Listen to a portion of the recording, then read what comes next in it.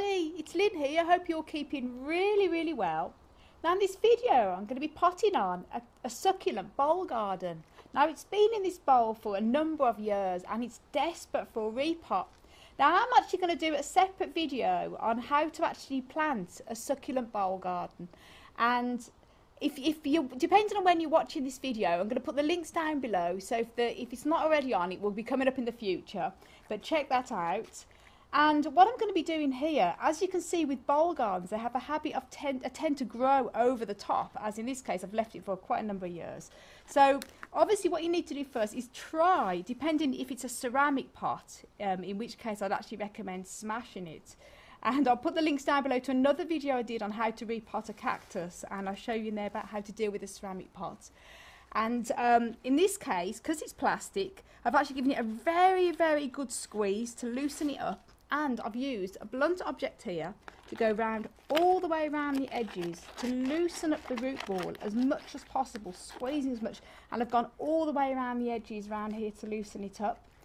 Now on this occasion I've used lots of shredded paper in this bag here and that means that when I turn it over to repot it, it's going to support all the plants and you are going to get bits that are going to come off, um, maybe to propagate them, but that's natural when it comes to repotting. But not to worry, this will minimise the damage as much as possible. Now after you've gone around the whole of the, the edges and loosened up that root ball so it's ready to come out, pick up the bag with all the soft paper in, or whatever you're using for filling, place it onto the top and this is going to cushion the blow when you, you move it over to get it out. Now, what you do then is you gently turn it like so. Now, you are going to get some damp, which is inevitable when it comes to repotting. Turn it onto its side and then gently pull that pot off, as in this case, it's come away. Look at that. now, as you can see, that is desperately in need of a repot and it's also a great opportunity to check the root system as well. There's a lot of different plants all growing in the same pot and luckily, thank goodness, the root system looks fantastic and look what I've spotted here. I spotted this little guy on the hideout. Now slugs have a habit of hiding in the most tiniest places. As you can see, there's a little one there, so I'm just going to put him back out. There you go. and always go check the root system out to check that it's all healthy. Any dam damaged roots can be cut away. In this case, it's, it's compact and um, I'd recommend you can loosen the roots up when you put them into a new pot, but I'm going to actually sort of leave them. Personally, my experience, if the roots look healthy enough, I leave them as they are and I just pop them on into the, the next size pot up.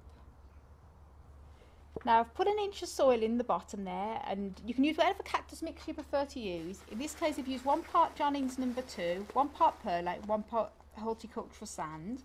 And then what you do then is gently lift, very carefully, one hand on the bottom of the root system and the other on the top. Gently lift that either into the new pot like so. Woohoo! Hand out. That's it. And then obviously gently lifting the bag off. That's great. And then the next trick is to try and get obviously as much soil around the edges as possible. There you go guys, and next size up. Now what I would do is obviously fill in the gaps all the way around the edges of the pot, as in this case here.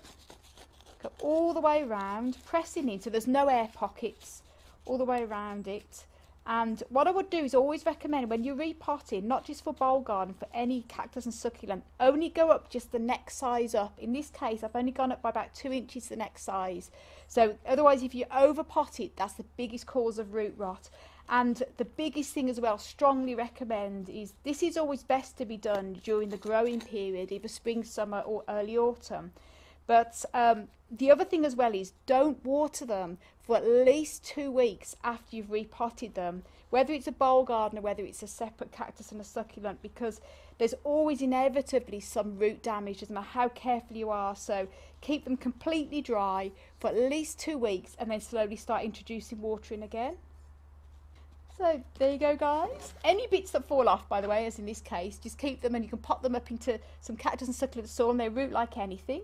So I hope you found that helpful. I want to send you loads of love and loads of happiness as always from Ireland. And until the next video, bye.